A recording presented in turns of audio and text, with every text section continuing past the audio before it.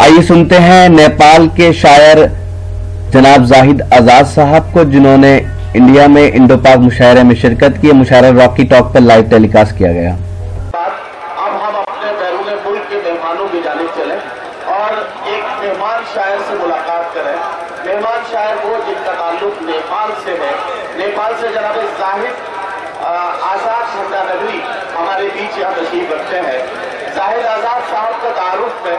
ये बात बताना भी ज़रूरी है कि उन्होंने हिमालयाई उर्दू अदब अवार्ड की बुनियाद डाली और इंडो नेपाल मुशायरे के बानी है। साथ ही साथ ये सदर है अंजुमन अदब उर्दू नेपाल के और नेपाल उर्दू न्यूज़ के आप एडिटर हैं। ये तमाम जो बातें मैंने बताई ये सब तारुफ बनता है जनाब जाहिद आज़ाद का, जो नेपाल से तशरीफ़ लाए हैं। मैं जनाब जाहिद आज़ाद से गुजारिश करता हूँ कि तशरीफ़ लाए और अपने कलाम सुना। आइए अब जाहिद आज़ाद साहब को हम सुनेंगे। जाहिद आज़ाद साहब नेपाल से तशरीफ़ लाए हैं। मेहमान शायर हैं। आपकी ज़िम्मेदारी बनती है कि आप जोरदार इस्तेमाल करके उनको इजाज़त दें कि वो अपना कलाम सुनाना शुरू करें। में कोई कहानी दे के जाऊँगा। फ़सल के रूप में कोई कहानी लेके जाऊँगा। अदब के ज़िंदगी को नौजवानों को क्या कहना वाह वाह। दोस्तों चार कलाम जाऊँगा रूप की शान है तौकीर है इज़्ज़त है यहाँ वाह रूप की शान है तौकीर है, इज़्ज़त है यहाँ। इज़्ज़त है यहाँ रूप की अपनी सियादत है सियादत है। वाह सच फिरे और यहाँ गलियों में बाजारों में सच सच फिरे फिरे और यहाँ गलियों में गलियों बाजारों में में बाजारों में सच कहना करता सजा वाह इतिहास पर क्या फिर हमने फ़िक्र कर रहा हूँ और जो कहूँगा। सारे सच्चे इसी धरती पे जो बाहम सारे सच्चे इसी धरती पे जो बाहम हो जाएँ वाह हम जो बिखरे हुए एक लफ्ज मुनज़्ज़म क्या कहना वाह ये दुनिया जो है कारत से बहुत देखती है हमें जिनकी नज़रों में वाह वाह। एक इरशाद।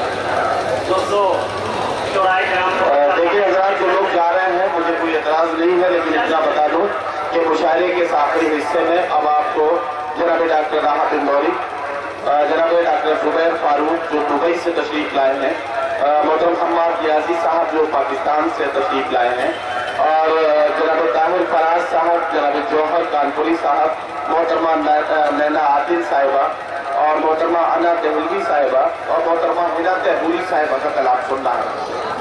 दोस्तों बहुत ज़्यादा है।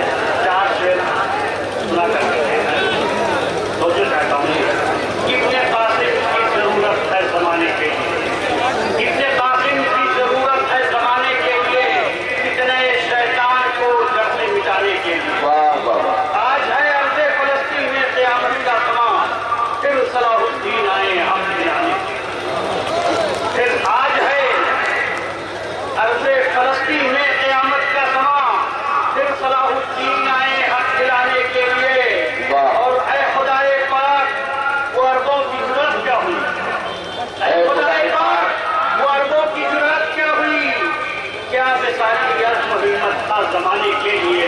हज़रत खालिद की हैबत से सहम जाते थे लोग। हज़रत खालिद की हैबत से सहम जाते थे लोग। अब मुसलमान रह गए बस मौत खाने के लिए।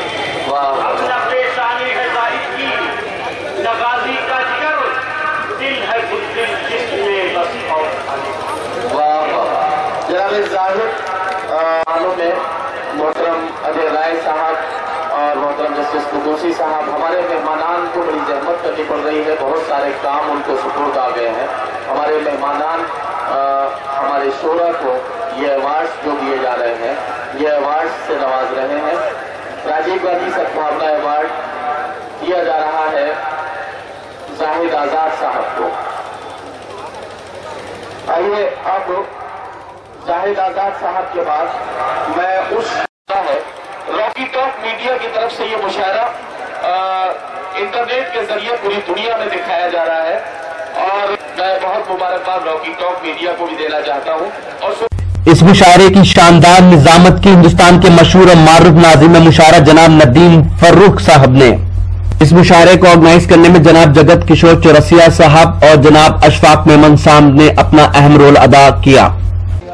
तो ये था एक शानदार इंडो पाक मुशायरा जो हमने बेनियाबाग बनारस, उत्तर प्रदेश, इंडिया से आपको सुनवाया। उम्मीद करते हैं मुशायरा आपको अच्छा लगा होगा। अगर आपको और मुशायरे देखना है तो हमारी वेबसाइट www.rockytalkmedia.com लॉगिन कर सकते हैं। अगर आपको लाइव मुशायरे देखने हैं तो आप हमारी एप्लीकेशन रॉकी टॉक की अपने मोबाइल में डाउनलोड कर सकते हैं। फिर किसी शहर से किसी और मुशायरे को आप तक पहुंचाएँगे। कैमरा पर्सन रेहान खान के साथ शफीक खान, बनारस, यूपी, इंडिया से रॉकी टॉक के लिए।